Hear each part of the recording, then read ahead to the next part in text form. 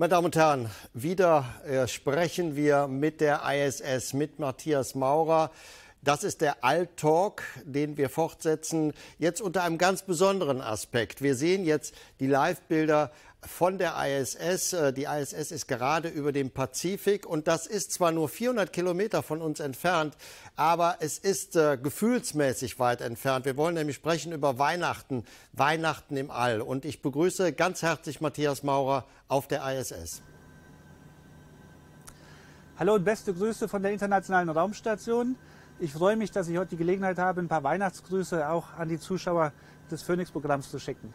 Wir schauen mal äh, auf diese ganz besondere Situation von dir im All. Wir ähm, haben ja schon ganz viele Sendungen mit dir gemacht, aber das jetzt äh, Weihnachten auf der ISS muss auch für dich was ganz, ganz Besonderes sein. Ähm, was macht man auf der ISS Weihnachten? Also an Weihnachten dann werden wir natürlich auch ein kleines bisschen feiern, so wie auf dem Boden. Wir werden auch Geschenke verteilen. Zumindest habe ich was Kleines mitgebracht für meine Kollegen und ich habe schon gehört, dass auch Sie was haben. Wir haben einen kleinen Weihnachtsbaum ähm, und wir werden natürlich auch gemeinsam Abendessen. Ähm, wir bekommen mit der nächsten Versorgungskapsel ein spezielles Weihnachtsessen hochgeschickt. Das durften wir so ein bisschen vorauswählen. Und äh, ja, das werden wir ein bisschen feiern. Aber wir werden jetzt nicht an Heiligabend feiern, vermutlich, sondern ein paar Tage später weil wir bekommen mit der nächsten Versorgungskapsel sehr viele biologische Proben, äh, Experimente hochgeschickt. Die müssen sehr schnell ausgeladen werden, weil in der Dragon-Kapsel haben wir die ja nicht gekühlt, so wie hier auf der Raumstation. Ähm, das heißt, die sind dann, die haben ein gewisses Verfallsdatum und müssen schnell abgearbeitet werden.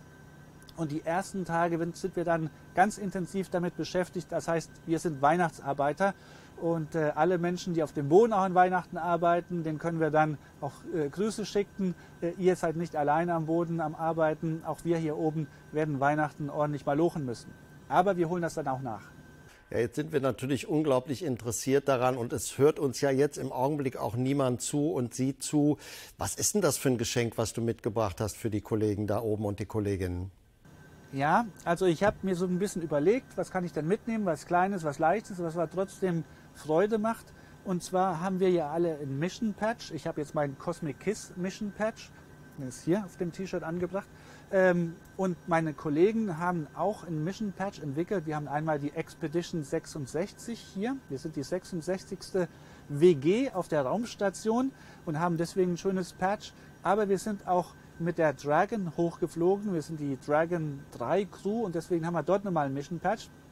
Und diese drei Patches die habe ich nun als Stempel herstellen lassen auf dem Boden.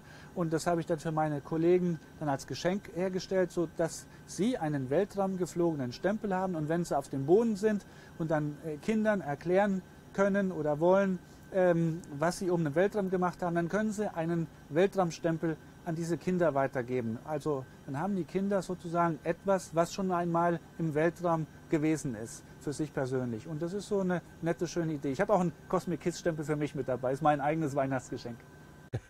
Ähm, jetzt nehme ich nicht an, dass ihr da oben eine Gans verspeisen werdet. Äh, was gibt es zu essen? Ist das ein besonderes Essen jetzt? Ja, ist ein bisschen besonderes, ist ein Bonusessen, das heißt nicht etwas, was alltäglich hier auf der Liste steht. Ähm, was wir letztendlich jetzt bekommen, genau, das weiß ich schon gar nicht mehr. Das mussten wir ja vor ein paar Wochen schon aussuchen. Das wurde ja geplant, dass es in diese Kapsel reingeht. Ähm, wir haben auch noch ein bisschen, ich mal, ein paar Weihnachtsmützen dabei oder ich habe auch hier im Hintergrund meinen kleinen Paxis, meine ESA-Begleitperson für die Kinder ähm, schweben. Der Paxi ist ganz rot angezogen wie ein Weihnachtsmann. Also das ist dann so ein bisschen die weihnachtliche Dekoration, die wir dann haben werden. Das ist eine internationale Raumstation und das heißt ja auch, äh, dass die Besetzung international ist und auch von verschiedenen Kulturen geprägt. Ähm, gibt es da so gemeinsame Traditionen auf der ISS? Äh, gibt es verschiedene Formen, Weihnachten zu feiern? Ja, wir haben hier natürlich eine Kombination aus verschiedenen Kulturen, verschiedenen Sprachen, verschiedenen Ländern. Und äh, sage ich mal, in Europa, auch in Amerika, ist Weihnachten am 24. Dezember. Also zumindest bei mir zu Hause in Deutschland ähm, packen wir am 24. abends die Geschenke aus. Jetzt habe ich aber schon von meinen Kollegen gelernt, dass sie erst am 25., am ersten Weihnachtstag, die Weihnachtsgeschenke auspacken und verteilen. Das heißt, da müssen wir uns noch mal ein bisschen koordinieren, wann wir jetzt, wann ich meine Stempel jetzt loswerde und, und wann ich hoffentlich auch ein Geschenk von Ihnen bekomme. Und die russischen Kollegen, die feiern natürlich Weihnachten, äh, sage ich mal, mehr im neuen Jahr. Da ist äh, nach, dem, nach dem Kalender, dem alten russischen Kalender, ist das ja alles zwei Wochen zeitversetzt. Das heißt, wir haben hier mehrere Möglichkeiten, Weihnachten zu feiern, zu begehen. Und wir möchten natürlich allen Kulturen gerecht werden und allen Kollegen hier auch gerecht werden, sodass wir das dann feiern wie zu Hause, damit jeder das Gefühl hat, auch ein Stückchen Heimat dabei zu haben. Jetzt hast du eben gesagt, man sollte ein kleines Geschenk nur mit hochnehmen. Das kann man gut nachvollziehen. Äh, du hast zwar das Gefühl, da ist jetzt ein großer Raum um dich herum, aber trotzdem, äh, das ist ja sehr pragmatisch angelegt, äh, wo was ist. Und ich kann mir jetzt nicht vorstellen, dass irgendwo auf der Station ein kleiner Weihnachtsbaum existiert. Gibt es irgendeine Art von Dekoration für Weihnachten? Ja, also in der Tat haben wir sogar zwei Weihnachtsbäume einen Weihnachtsbaum im russischen Teil der Station und einen im äh, westlichen Teil der Station. Wir haben ja zwei Bereiche, wo wir einen Tisch haben, an dem wir essen können. Dort gibt es zwar keine Stühle, weil wir schweben ja alle um den Tisch. Und ähm, den Tisch, den können wir auch von beiden Seiten verwenden, weil wenn wir es auf den Kopf drehen, dann ist die Unterseite des Tisches genauso gut der Tisch. Äh, das klappt alles im schwerelosen Raum. Und unten und oben ist auch eh dort, wo der Kopf ist. Also dort, wo mein Kopf ist, ist für mich immer oben. Das ist jetzt gerade da. Aber wenn ich nachts schlafe, hier in der Kabine, dann liege ich in der Richtung und dann ist oben für mich dort. Und wenn ich morgens dann rauskomme mit dem Kopf in der Richtung, dann ist da unten oben für mich. Äh, alles vielleicht ein bisschen verwirrend, aber der Kopf sagt einem schon Bescheid. So, diese Weihnachtsdekoration, die wir dann haben, der Weihnachtsbaum, den mussten wir gestern erst einmal suchen. Ähm, der war nämlich nicht dort, wo er angegeben war. Von der, von der Bodenkontrolle gibt es ja immer die Information, das Material, was er sucht, das ist in der in der Tasche, an der in der Stelle. Und manchmal verlegt man auch diese Tasche und äh, da waren wir alle schon in einem leichten Panikmodus. Weihnachten ohne Weihnachtsbaum, das geht doch gar nicht.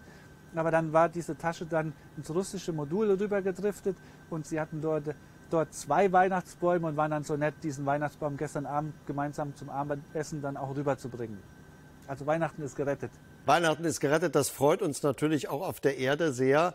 Äh, die Frage ist jetzt, wenn wir mal sehen auf die Raumstation und sehen, wie dort Gegenstände, ähm, ich sage jetzt mal ein bisschen übertrieben, herumfliegen, äh, müsst ihr eigentlich auch mit vielen Dingen sehr vorsichtig sein. Jetzt gerade, wenn es um Geschenke geht, wenn es um Verpackung geht, wenn es um einen solchen Weihnachtsbaum geht, muss man das dann alles äh, genau befestigen, damit da nichts schiefgehen kann?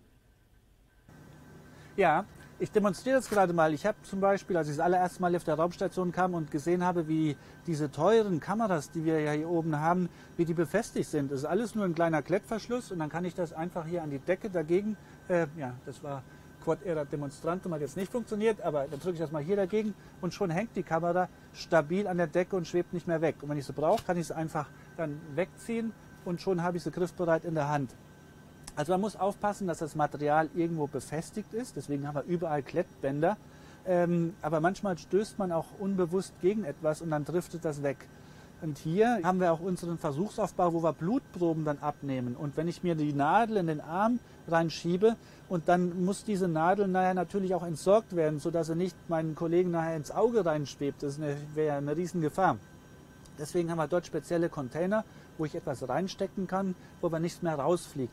Und äh, dieser Container wird dann auch nochmal dreifach verpackt, weil biologische Abfälle, ähm, äh, Abfälle, die potenziell dann auch jemanden kontaminieren könnten, die müssen natürlich extra entsorgt werden. Genauso ist auch alles, äh, was mit den menschlichen, sag ich mal, den Körperabfällen zu tun hat, also mit, mit Pipi oder wenn man halt mal das größere Geschäft machen muss. Es wird alles immer extra verpackt, damit dort keine Gefahr entstehen kann. Jetzt äh, stelle ich mir mal Weihnachten vor in einer besonderen Atmosphäre. Wir sehen jetzt äh, Bilder. Äh, du bist mit der ISS im Augenblick auf dem Weg nach Nordamerika. Äh, du bist über dem Pazifik. Äh, das sind zwar nur 400 Kilometer von der Erde selber, aber du hast ja in der ersten Folge von Alltalk schon gesagt, das ist ein ganz besonderes Gefühl. Da ist man nicht nur schwerelos, sondern in auch einer ganz besonders euphorischen Situation. Aber jetzt frage ich mal umgekehrt. Äh, Weihnachten ist für uns alle was ganz, ganz Besonderes. Wäre man da nicht mal ganz schnell gebeamt auf der Erde lieber vor dem Weihnachtsbaum zu Hause? Ja, also Weihnachten ist natürlich etwas ganz Besonderes. Ich bin natürlich sehr gerne zu Hause bei der Familie, bei den Freunden. Weihnachten ist ja die Gelegenheit, wenn man, ich lebe jetzt ja in Köln, aber ich komme aus dem Saarland, wenn ich dann nach Hause reise und dann auch die Freunde treffe, die auch nicht mehr im Saarland leben, sondern nur vielleicht an Weihnachten die Gelegenheit haben, nach Hause zu kommen. Und dann trifft man sich und dann kann man sich austauschen und erfährt, ja, was ist eigentlich bei dir im letzten Jahr passiert und was gibt es Neues und was sind deine Pläne für das nächste Jahr. Das wird natürlich ein Moment sein, den ich jetzt verpassen werde, aber ich glaube, dieses Weihnachten für mich, das wird so einzigartig sein. Ich weiß ja nicht, ob ich jemals noch einmal die Gelegenheit haben werde, noch einmal Weihnachten, Neujahr im Weltall zu verbringen. Also ich möchte das wirklich mit jeder Haarspitze, äh, die ich habe, hier in mich aufsaugen, mitnehmen, ausleben, auskosten. Und äh, ich glaube, für den Rest meines Lebens werde ich dann an Weihnachten genügend Gelegenheit äh, haben zu erzählen. Im, mein letztes Weihnachten habe ich im Weltall verbracht und da hatten wir etwas ganz Besonderes. Ich werde natürlich aber auch meine Familie anrufen können und meine Freunde äh, ganz kurz und dann auch nochmal äh, die ersten Eindrücke von hier oben zu Weihnachten weitergeben können. Man sagt immer so schön, Weihnachten ist äh, das Fest der Liebe und auch äh, das Fest der Ruhe und des Friedens. Ähm, du schwebst über der Erde und äh, du weißt ganz genau äh, bei allen Informationen, die wir haben, wo überall Krisen sind, wo Kriege sind, wo Menschen umkommen. Ähm, das ist so ein ganz besonderes Gefühl, kann ich mir vorstellen, wenn man über all diesem schwebt und äh, Gedanken daran hat. Ja, also wenn ich hier aus dem Fenster schaue und jetzt halte ich ja gerade auch wieder meinen kleinen äh, Mini-Globus in der Hand.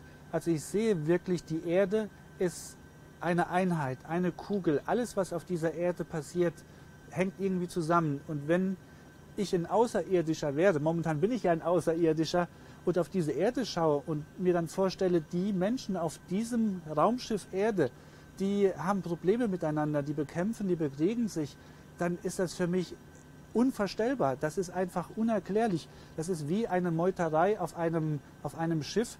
Das kann nicht funktionieren. Ein, ein Schiff, ein Raumschiff, ähm, ein Planet kann eigentlich nur optimal laufen, funktionieren, wenn die komplette Besatzung zusammenarbeitet, wenn wir zusammenhalten, gemeinsam. Und das erlebe ich ja hier jeden Tag auf der internationalen Raumstation. Gemeinsam können wir einfach Unglaubliches leisten. Äh, wir können so viel erreichen, wenn wir unsere Kräfte und unsere positive Energie bündeln und wir sollten nicht unsere äh, Energie durch negative Sachen aufzehren lassen. Also von daher wünsche ich mir natürlich auf der Erde, dass viel mehr Kooperationen entstehen, viel mehr internationale Zusammenarbeit, viel weniger Konflikte zwischen den einzelnen Kulturen, sondern man soll das, sollte das Positive in den unterschiedlichen Kulturen erkennen, die Unterschiede nicht als etwas Negatives, sondern als Bereicherung wahrnehmen.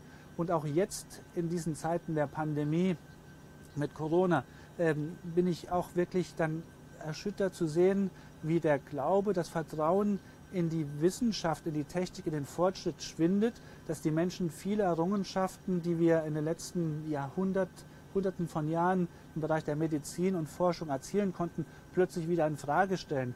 Ich bin jetzt hier im Weltall und wenn ich alles in Frage stellen würde, was wir hier oben machen, wenn ich alles selbst kontrollieren möchte, dann könnte ich nicht ins Weltall fliegen, weil das ist so komplex. Ich kann das nur machen, indem ich auf die Teams, auf den Boden, auf die Wissenschaftler, auf die Technik vertraue.